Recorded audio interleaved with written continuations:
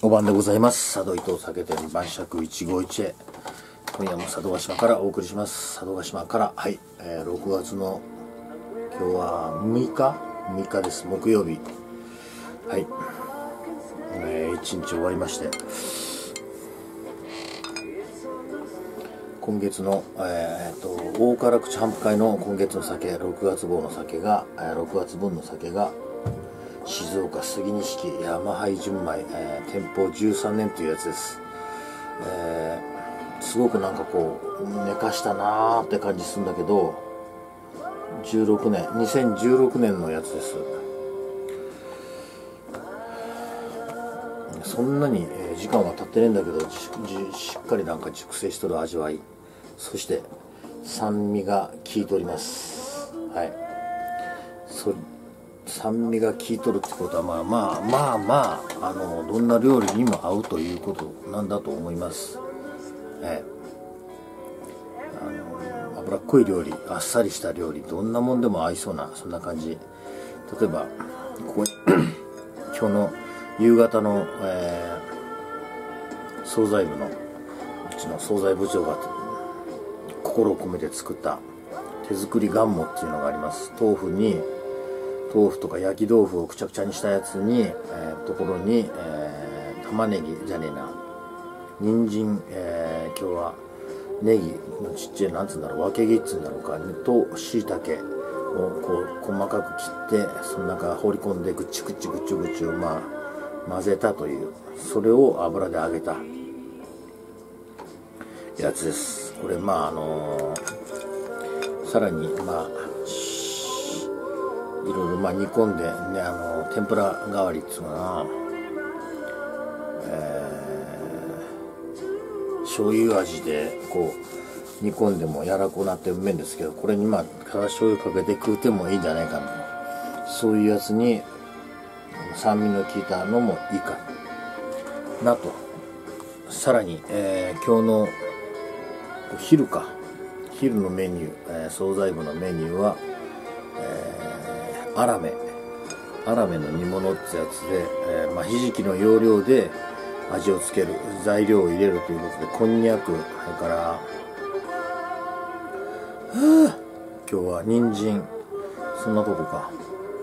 このこんにゃくも、えー、だいぶ煮込んだもんでしっかり色がついて味もついております。は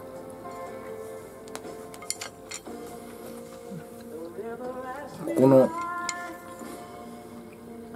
アラメの特徴はここのってあの姫津の丸井商店。井戸端屋井戸端屋さんのやつなんですけども一回、えー、湯通ししとるつか今あの煮立て煮煮込んでありますもんでから何言うとんだ？うん次に使う時あの今これから料理に使う時はそんなんつか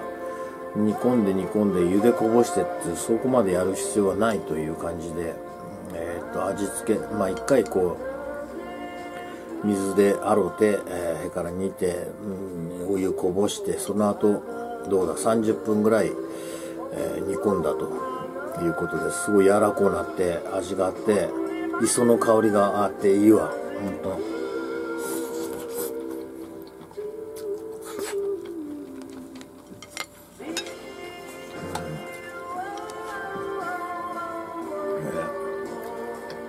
こんにゃくと人参がまあ本当にいい味が染みとって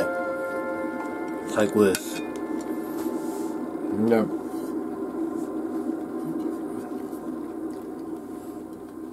新潟の上越の、えー、糸魚川の酒。糸魚川の酒謙信の特別純米酒ってやつなんですがこれが、えー、新潟の酒にしてはものすごい、えー、酸味の効いとるやつでやっぱ酸味が効いとるっていうのとやっぱり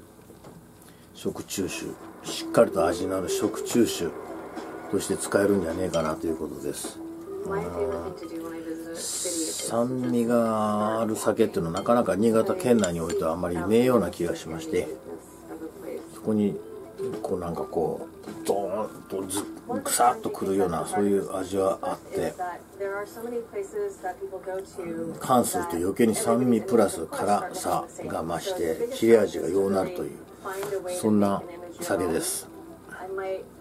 えー、新潟に本当に新潟あんまり今まで飲んだ感じと全然違う新潟の酒になりまして、ね、なん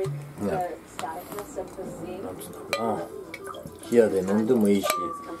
ちょっと厚めの缶してもいけますこれは。の酒は今まで、あの、感じたことのね新潟の酒です。まあ新潟の酒といっても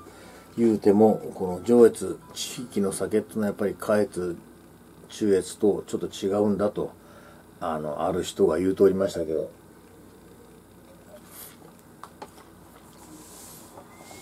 はい。すごくなんかどんどん進んでいきます。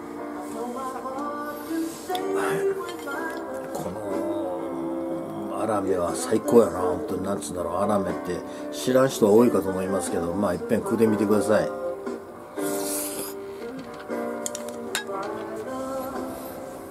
ん。ああだこうだ言うてもしょうがね